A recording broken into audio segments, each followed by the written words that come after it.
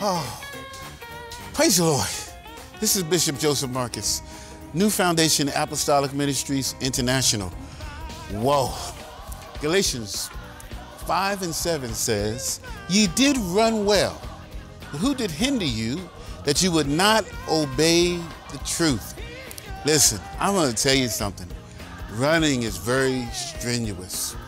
Paul says some words that causes us to think that we, as saints, should strive for the mastery. Why? Because he knows that he that runneth in a race, of course, is running for a crown. If you're running for a crown, that means you got to temper yourself. You got to beat your body into subjection. You've got to get yourself in the place that you're absolutely prepared to fulfill the race. We are living in a time that people are being hindered by lots of things. They're being hindered by social media. They're being hindered by friends. They're being hindered by family. They've been hindered by foes. And most of all, they're being hindered by the devil. So I want to challenge you today.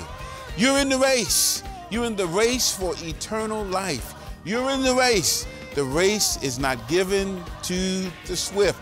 It's not the fastest person that wins. It's not the person who has the longest legs. It's not the person that has the greatest stride.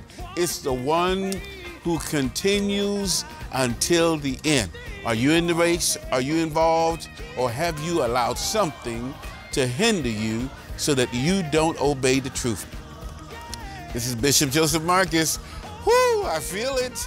I feel the burn. I feel my calves talking to me. This time, let's run the race with patience. God bless you in Jesus' name.